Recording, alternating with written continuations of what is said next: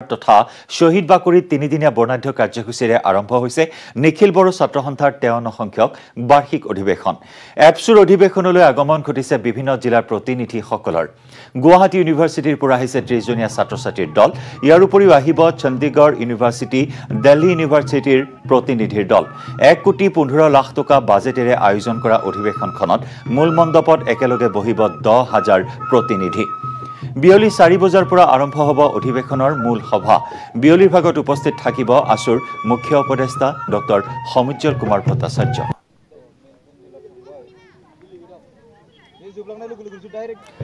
আগবঢ়াইছো আমাৰ সাংবাদিক পলাশ ফুকনৰ ৰিপৰ্ট আজিৰে পৰা আৰম্ভ হৈছে গহপুৰৰ মুংখুলুং পথাৰত নিখিল বড়ো ছাত্ৰ সন্থাৰ তেৱন্ন সংখ্যক বাৰ্ষিক অধিৱেশন। আৰু এই মুহূৰ্তত মই উপস্থিত আছোঁ প্ৰতিনিধি শিবিৰত কিয়নো প্ৰতিনিধি শিবিৰত এতিয়া অসমৰ বিভিন্ন জিলাৰ পৰা লোক প্ৰতিনিধিসকল আহিছে আৰু উদুলি মুদুলি হৈ আছে। বৰফুলুং পথাৰৰ পৰিৱেশ যথেষ্ট সংখ্যক লোক আহিছে। আৰু এজন দাদা পাইছোঁ দাদা আপুনি ক'ৰ পৰা আহিছে? আমি চিৰাঙৰ পৰা আহিছোঁ। কেনেকুৱা লাগিছে ইয়াত আহি? মোটামুটি ভালে লাগিছে। হয়, এই প্ৰতিনিধি শিবিৰত কিমানমান মানুহ আছে এতিয়া? বৰ্তমান এতিয়া আহি আছে। এতিয়া মোটামুটি পাঁচ হাজাৰমান গোট খাব। হয়। আৰু এনেদৰে মোৰ সতীৰ্থই দেখাই আছে সুন্দৰ সুন্দৰকৈ তেওঁলোকে সজাই পৰাই তুলিছে কিয়নো বিভিন্ন জিলাৰ পৰা বা অসমৰ বাহিৰৰ পৰা প্ৰতিনিধিসকল আহিছে। যিমান পাৰে আচলতে শুশ্ৰূষা কৰিবলৈ চেষ্টা কৰিছে। উদযাপন সমিতি আৰু আছে দাদা ক'ৰ পৰা আহিছে কেনেকুৱা লাগিছে? আমি বাক্সাৰ পৰা আহিছোঁ। এতিয়া ইয়াত আহি বহুত ভাল লাগিছে। বহুত ডেলিগেট আহিছোঁ। ইয়াৰ মেক্সিমাম পাঁচ হাজাৰমান ডেলিগেট আহিব। বিভিন্ন ডিষ্ট্ৰিক্টৰ পৰা। সেইটোৱে। অসমৰ বাহিৰৰ পৰা আহিব? অসমৰ বাহিৰৰ পৰা আহিব চণ্ডীগড় ইউনিভাৰ্চিটিৰ পৰা আহিব দিল্লী ইউনিভাৰ্চিটিৰ পৰা আহিব আৰু এইটো বিভিন্ন ইউনিটৰ পৰা আহিব।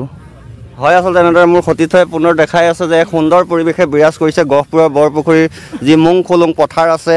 আজি প্ৰায় কেইবাদিনো ধৰি প্ৰস্তুতি চলিছিলে আৰু আজি আহি আৰম্ভণি হৈছে ঊনত্ৰিছ ত্ৰিছ আৰু একত্ৰিছ জানুৱাৰী তিনিদিনীয়া কাৰ্যসূচী অনুষ্ঠিত হৈছে। যুৱতী পাইছোঁ ক'ৰ পৰা আহিছে বাইদেউ আপোনালোক? আমি গুৱাহাটী ইউনিভাৰ্চিটিৰ পৰা। কেনেকুৱা লাগিছে ইয়াত আহি? এতিয়াতো বহুত ভালেই লাগি আছে আৰু আগৰ প্ৰগ্ৰামবিলাকক মানে থাকিবৰ কাৰণে বহুত ইণ্টাৰেষ্টেড হৈ আছোঁ। গুৱাহাটী ইউনিভাৰ্চিটিৰ পৰা কিমান আহিছে? আমি থাৰ্টি প্লাছ হয় নিশ্চয়কৈ ধন্যবাদ জনাইছোঁ। আৰু আছে বাইদেউ কওকচোন ক'ৰ পৰা আহিছে কেনেকুৱা লাগিছে? আমি গুৱাহাটী ইউনিভাৰ্চিটিৰ পৰা আহিছোঁ। हाँ। बहुत अच्छा अच्छा लग रहा है मतलब ऐसे अभी तक तो प्रो, कुछ प्रोग्राम स्टार्ट नहीं हुआ है फिर भी अच्छा लग रही है। देखने को मिलेगा क्या क्या होगा क्या नहीं होगा। वैसे तो हम कबड्डी टीम से टीम बना के आया है और वॉलीबॉल टीम बना के आया है यूनिवर्सिटी से। वो खेल के देखती हूँ।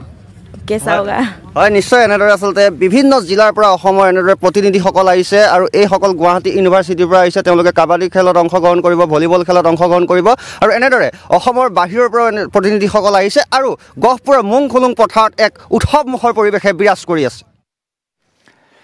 অসমত বিজেপিক চৰকাৰ গঠনত সহযোগিতা কৰি আহিছে এ আই ডি এফে। বিজেপিক অতি হিন্দু আৰু এ আই ডি এফক অতি মুছলমান সাম্প্ৰদায়িক আখ্যা ৰাইজৰ দলৰ সাধাৰণ সম্পাদক কমল কুমাৰ মেধিৰ।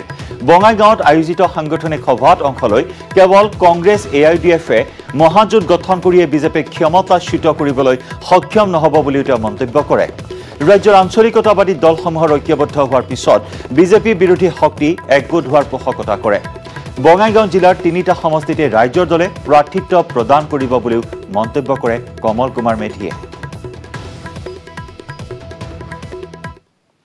যে বিজেপিক অসমৰ মাটিৰ পৰা উৎখাত কৰিব লাগে। কিন্তু বিজেপিক উৎখাত কৰাৰ কাৰণে আন এটা সাম্প্ৰদায়িক শক্তি এ আই ইউ ডি এফক আমি কেতিয়াও প্ৰশ্ৰয় দিব বিচৰা নাই। কাৰণ বিজেপিৰ উত্থানত